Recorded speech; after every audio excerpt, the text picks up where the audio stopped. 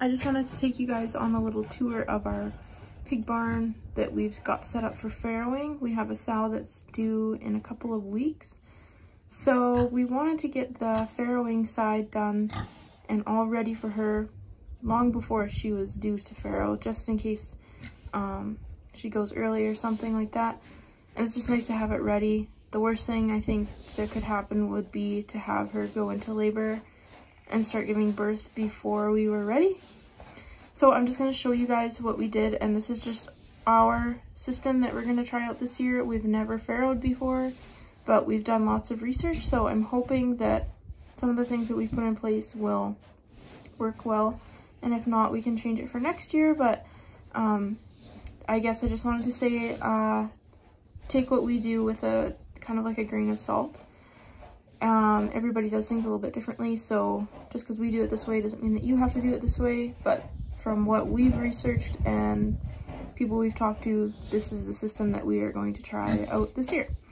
So I'll take you on a little tour, I guess. Also, I got a nail um, kind of like hammered at me, which sounds weird, but Cole was trying to bend a nail and the nail broke and like came flying at my face and yeah, that's what that's for. Alrighty. So this is the farrowing side of our barn and I'm just gonna take you in here and show you around. We just finished kind of setting it up today to the best of our ability.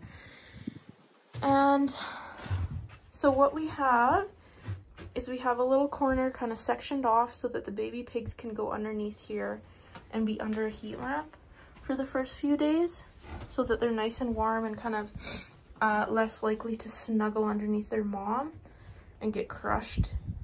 I know that sounds weird to someone that isn't farrowing pigs, but a lot of piglets die from crushing and getting stepped on by their mom because it's just the mom gets really stressed out and worried during labor.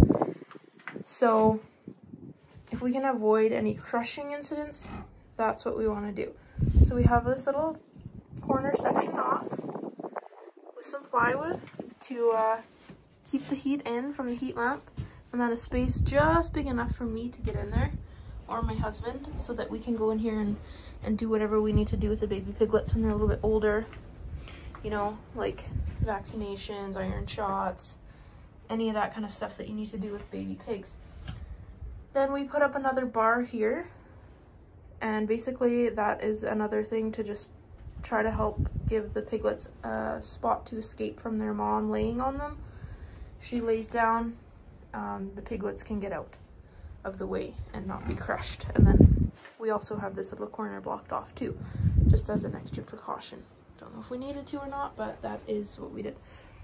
We also put another board down here so that mama pig can hop in and out and baby pigs can't. I think what we'll do is we'll actually just block off this entire door for the first day or so after she has babies so that um, she can't leave and so it stays nice and warm in here as well.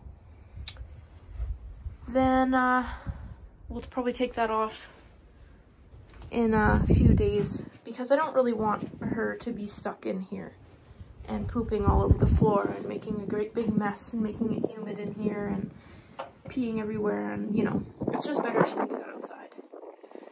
So if we need to raise that board up then we will obviously. But play it by ear. Obviously we're probably going to make mistakes we've never farrowed before this is just the system that we want to try based on the research we've done and people we've talked to.